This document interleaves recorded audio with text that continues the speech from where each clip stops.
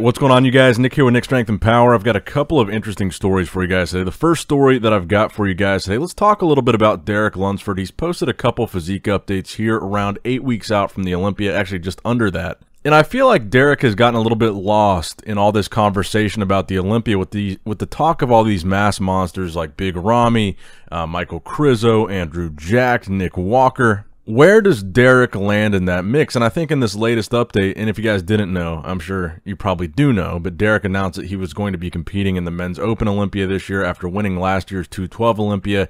He wound up getting the special invite to compete in Open this year. So he's he's obviously working with Hany Rambod, who is now working with Chris Bumstead. He's also working with Hadi Choopan, just to name a few. And I, I, really do think that Derek is one of the premier bodybuilders in this lineup. And I think this video, this posing video here, um, is one of the reasons why Derek is so good. Look at his lats in that front double bicep pose. He doesn't look like he's a 212 bodybuilder. He's got this illusion because of his V taper, because of the size and width of his back. It's one of the things that makes him able to stand with these bigger guys. And that's what we saw with that Pittsburgh Pro guest posing that he did earlier on in the year with Nick Walker, Brandon Curry, and Hunter Labrada. And he looked big next to those guys, and he was weighing like 260 pounds at that guest posing. But Derek has these attributes of his physique that make him not look small. So the question of whether a 212 guy can come into an open lineup and do good has already been answered multiple times. Shaun Clarida answered that question. Hadi Choopan came from 212. William Bonac came from 212.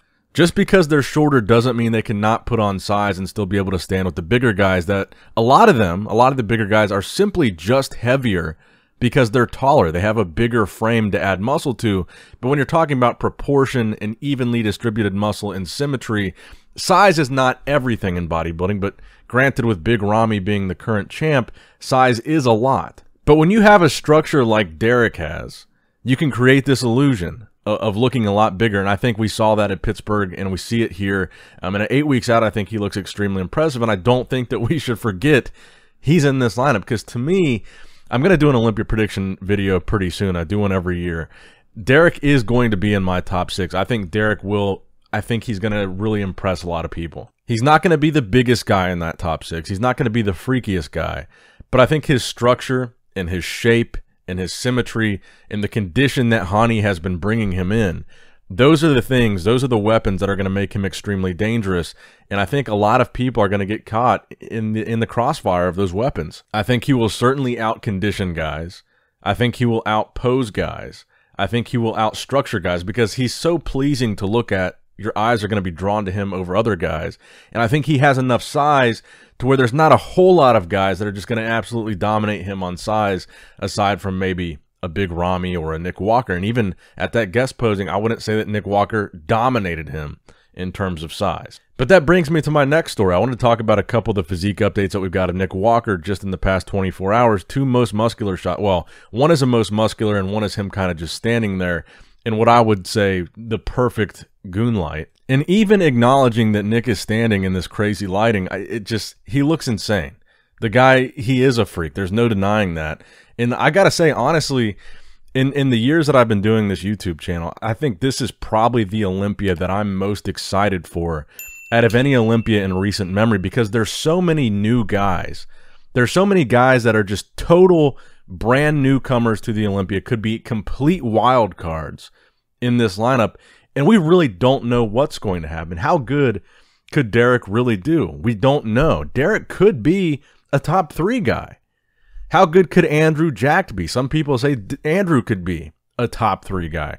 How good could Krizo be if he does get to the Olympia? Krizo could come in and dominate this thing too. And then on top of that, you've got Nick Walker looking like this. He's a very new guy. We've seen him take fifth last year. A lot of people, myself included, are expecting to see Nick move up from that fifth place spot this year. Then on top of that, you've got Big Ramy looking probably the best we've ever seen him look in the lead up to an Olympia. So you've got a champion or a turning defending champion that looks to be at his all-time best and you've got all these guys chomping at the bit these newcomers that are really gunning for that title I think this is going to be an extremely exciting Olympia. And of course, we can't forget about Brandon, Brandon and Hadi, who have been right there for the past couple of years. But it's like I feel like so many Olympias, um, especially during the time that I've been covering bodybuilding, it was like everybody knew Phil was going to win. And it seemed like you kind of had the same guys constantly in those top spots.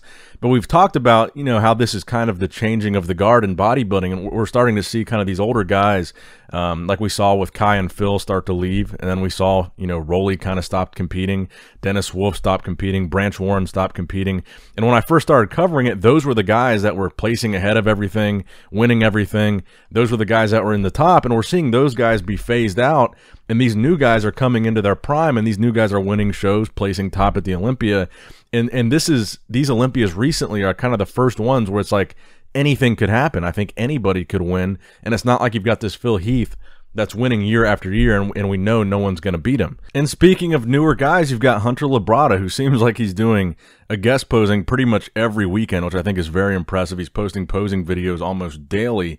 Um, and Hunter, Fourth last year, young guy, new guy. Based on everything that we've seen from Hunter recently, he looks like he's improved tremendously, and he looks like he's got a shot at improving on that fourth place finish from last year. So it's like we really don't know what's going to happen, and I would imagine. I think a really incredible call out would also feature uh, Nick Walker, Hadi Choopan, um, uh, uh, Derek Lunsford and, and uh, Hunter Labrada. Those four guys are all they're shorter guys. They've got similar physiques in the term of they're they're shorter and very very muscular. Um, and then you got see you don't want to forget William Bonac. There's just so many names in this lineup, and all these guys are extremely extremely good bodybuilders. Anything could happen.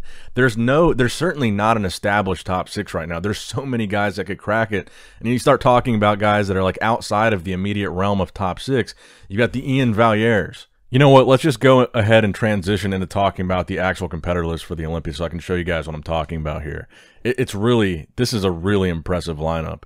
Nick Walker, Nathan De Asha, who I don't think is doing it. I actually talked to some people that train at the same gym as Nathan um, after that video where Nathan said he wasn't sure if he's doing the Olympia. Um, and they said, based on how they see him looking in the gym, they don't think he's going to compete. Um, but you've got Big Ramy, Brandon Curry, Hadi Choopan, Hunter Labrada, Shaun Clarida, who we don't know yet if he's doing 212 or open, Regan Grimes, Samson Dauda, Rafael Brandao, Angel Calderon Frias, who came from 212. We don't know for sure whether he's doing 212 or open. Joel Thomas, William Bonac. Don't forget about Blessing Awodibu. He's in here as well. Charles Griffin is in here as well. Muhammad Shaban, Hassan Mustafa, Muhammad Alsnor, Vitor Boff, Andrea Presti, Iain Valliere, Antoine Vaillant. Don't forget about Akeem Williams, who was in that first call just a few years ago. Chinedu Andrew Obiekea, which is Andrew Jacked. You've got Vlad Suharuchko, Derek Lunsford, Patrick Johnson, Tonio Burton, who just won the Legion Sports Festival, and James Hollingshead, who just won the Tsunami Pro. Then in the point standings, you've got Justin, Andrea, and Theo Laguerrier.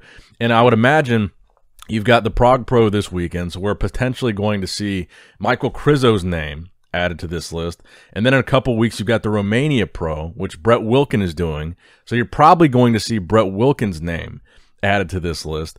I don't know if there's any other qualifiers besides those shows between now and the Olympia because the Olympia is rapidly approaching. It's in the middle of December. Actually, it's a week before Christmas, which honestly, I really wish they would move it back to the fall, September, October. And I want to get your guys' opinion on that in the comment section below.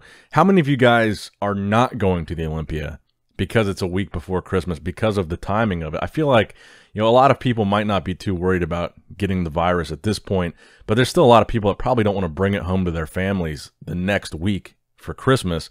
Whereas in the fall, especially September, October, there's not a whole lot of people that really have a whole lot going on um, in terms of getting together with families because there's no holidays. I don't know. That was just something I was thinking about recently. I don't like the week before Christmas Olympia thing. And I'll say for this one, guys, I'm curious to hear not just your top six, but in the comments below, I want to see you guys predict your top 10 in order. Who do you think is going to be outside that top six as well? But I want to see your placings first through 10th in the comments below based on this competitor list so far. And if you guys want to include Michael Krizo and Brett Wilkin, because I think likely they're going to get there, um, include them if you want. Which does bring me to the final story. We had one more update from Michael Krizo just, I guess, two days out now um, from his pro debut in Prague. Just a quick side profile of his arm there. Um, I'm I'm really excited to see him compete. He to me looks a lot better in some of the updates that we've seen from him recently than he looked um, going into that Olympia Amateur, and I think we are going to see a professional, conditioned peeled version of Michael Krizo in Prague, um, and I'm excited to see him on the Olympia stage. I really do think he's going to be tough to beat um, at this Prague Pro, and I likely think he will pick up the Olympia qualification there. But we'll see. Anything could happen. It could be a premature prediction, but I guess let me know what you guys think about that one too in the comment section down below. Make sure you leave a like on the video if you enjoyed it. Subscribe to the channel if you have not subscribed yet already. As always, I love you guys. Appreciate you guys. Nick Strength and Power signing out. All right, guys, don't forget to click that like button and subscribe to this channel if you enjoy the content. Also, check out my Instagram at Nick Strength Power my Facebook page, which is simply Nick Strength and Power, my secondary YouTube channel, Nick Strength and Vlogs, for vlogs and bonus content that you will not see on this channel, and consider subscribing to my third YouTube channel, Nick Strength and Pokemon, which is all things Pokemon and trading card games, completely unrelated to this channel. So if you're into that, give that one a look. And all links to merchandise and social media will be in the description box below. If you guys want a Nick Strength and Power t-shirt, that will be in the Shopify link below. Have a great day. Dancing good light, everybody's feeling warm and bright. It's such a fine and natural sight. Every dancing in the good light, everybody's feeling warm and bright. It's such a fine and natural sight. Everybody's dancing